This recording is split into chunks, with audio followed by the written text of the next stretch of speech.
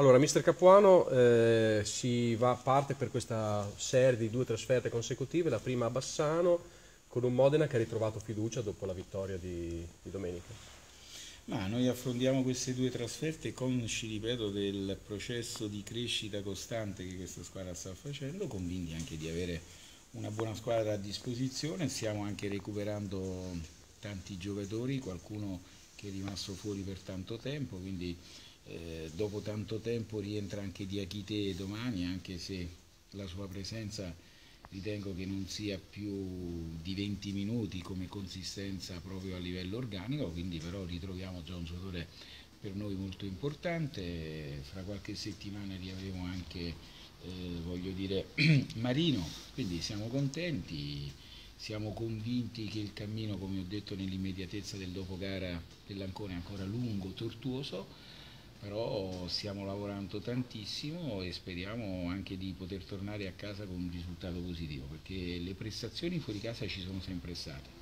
È inutile ribadire, rimembrare sempre le stesse cose, il primo tempo di Macerata. Noi abbiamo fatto sempre gara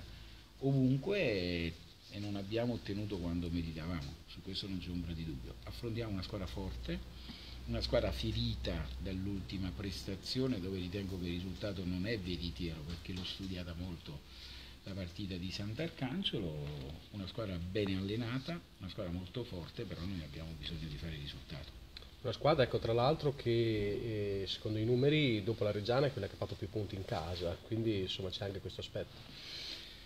Ma noi non guardiamo queste cose, cioè, è una squadra forte, punto, poi fai i punti in casa, fuori casa, è una squadra che ha 40 punti e che probabilmente si aspettavano anche qualcosa in più, è una squadra che è partita per fare benissimo come tra le altre cose sta facendo. Noi siamo una squadra in ripresa, lo dicono anche i numeri, guardi che nel calcio eh, l'unico unico comune denominatore sono i numeri, il resto è tutta aria fritta, quindi io potrei dire che da quando sono arrivato eh, abbiamo una media playoff, no? siamo nelle prime 10, quindi stiamo camminando molto veloce, eppure fuori casa non stiamo facendo risultati importanti, quindi a prescindere dai punti dei risultati. Noi dobbiamo far punti perché